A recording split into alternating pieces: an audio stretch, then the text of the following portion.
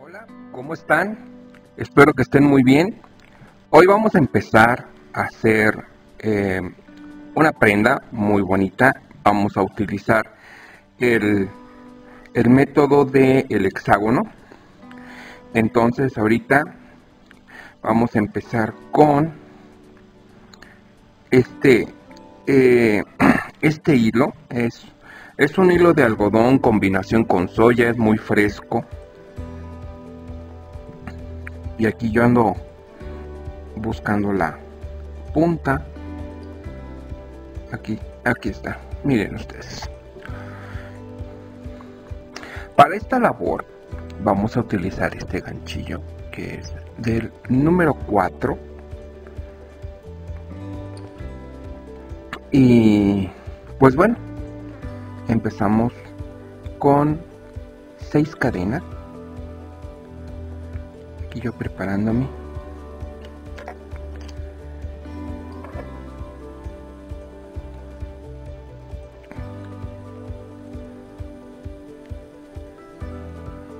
Ok.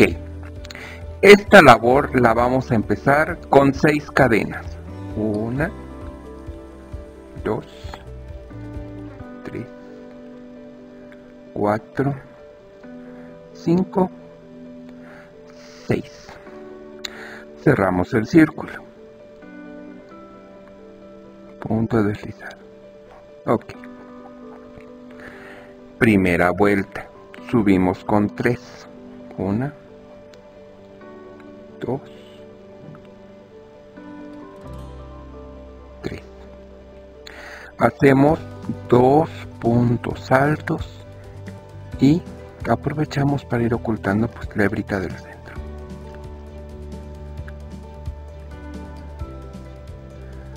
uno. Y dos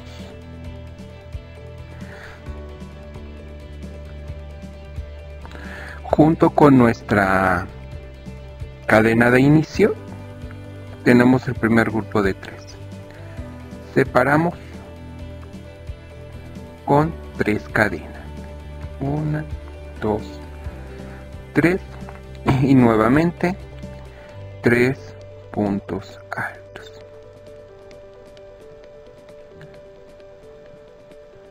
Una.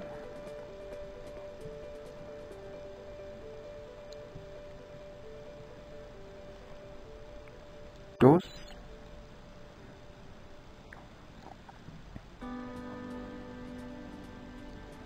Tres.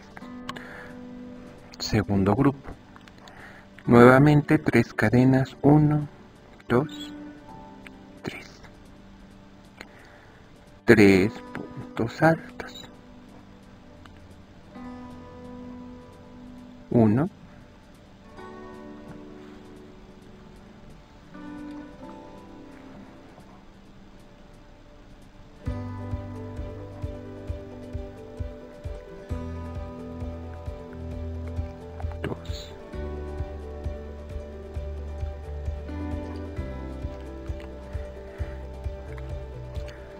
3 nuevamente separo con tres cadenas.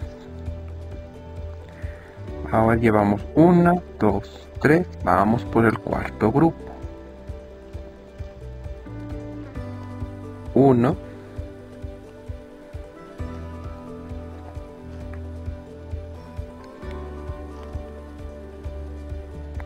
2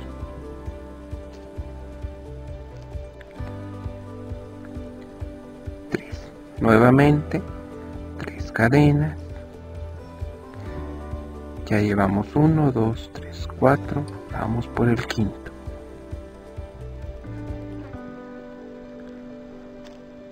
Uno.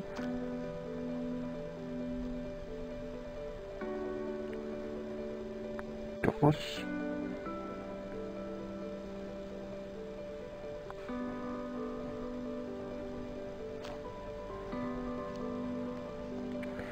tres tres cadenas y otra vez. Empezamos el sexto con 1 2 y 3 nuestras tres cadenas de separación 1 2 y 3 y 1 en mi cadena de inicio. Hasta aquí nuestra primera vuelta. A partir de aquí vamos a empezar la segunda vuelta. Subimos con 3 2 3 ok. Forma parte del primero y ahora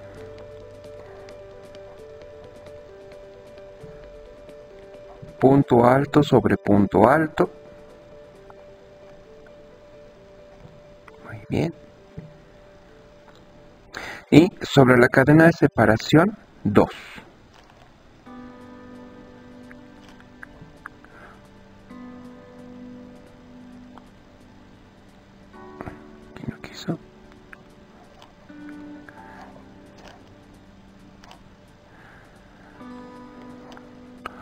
1 y 2 vamos a hacer tres cadenas de separación 1 2 3 y nuevamente en las cadenas 2 más. 1 y 2 ok y nos seguimos igual. Punto alto sobre punto alto y en cada cadenita de separación ponemos dos separados con tres cadenas y otros dos. Nos vemos al final de la vuelta. Otra. Miren, aquí yo ya voy terminando la segunda vuelta. Estoy en el cierre poniendo los dos puntos altos que van sobre la cadena de separación. Sí, y aquí voy a unir con este. Perfecto. Muy bien.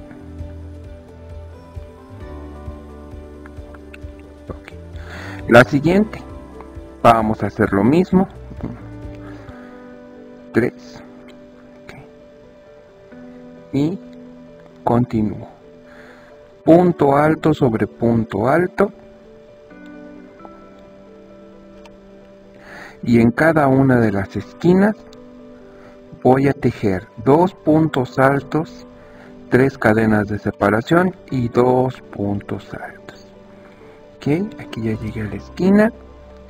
Aquí me tocan dos puntos altos, tres cadenas.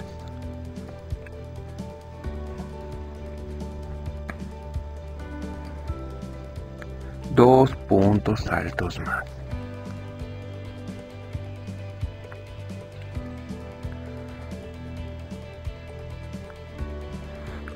Aquí ya. Yo me voy a seguir haciendo todo esto en cada vuelta hasta que cada uno de los lados me mida 40 em, centímetros. Es la talla que yo voy a realizar es para una persona gordita. Entonces como una talla 34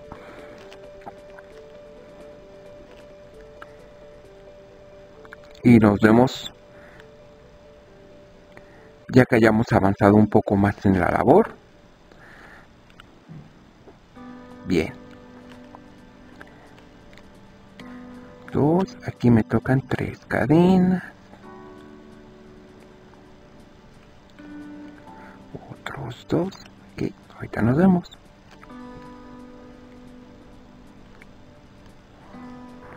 Miren, aquí vengo yo ya terminando mi última vuelta.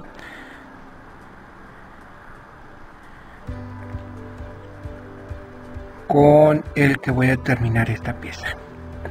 Entonces aquí va mi último y me toca unir. 1 2 3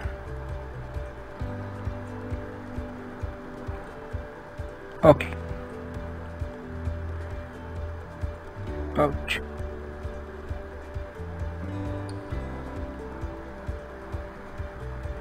Bien. Ok. miren ustedes. Todavía me queda bastantita de todo esto he tejido 31 vueltas. Les recuerdo que yo estoy haciendo la pieza del saco ligero para una persona talla 38 40 y son en total 31 vueltas las que hemos hecho. Para esto lo vamos a doblar. Esto es un hexágono.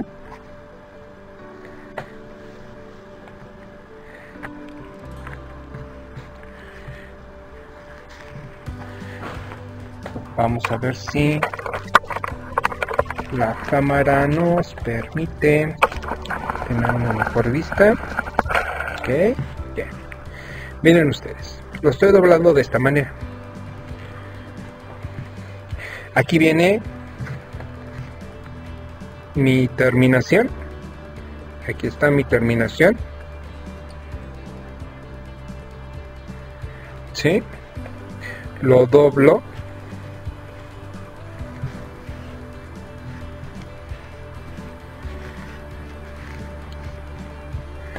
De tal forma que queda esto.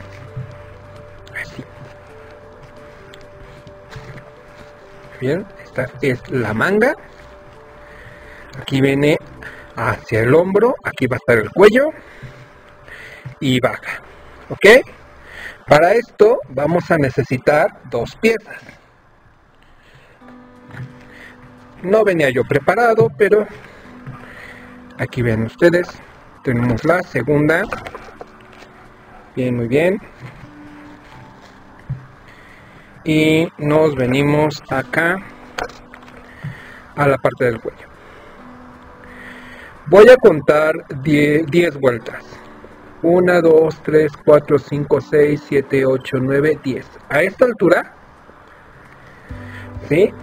en esta altura lo voy a marcar con esta pinza que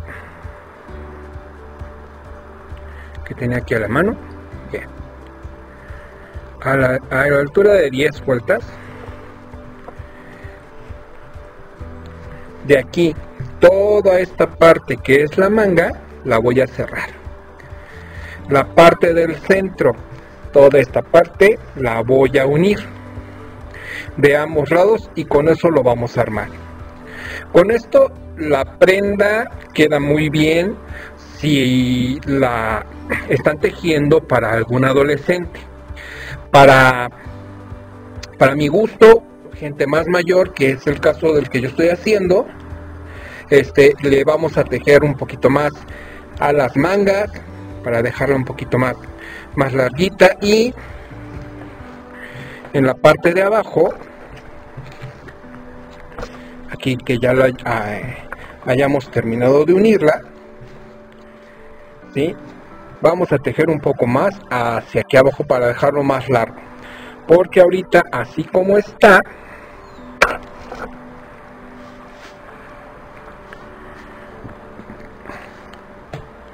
esta pieza así como la ven ustedes ya, ya, ya podría quedar entonces la unimos y vamos a ver cómo queda.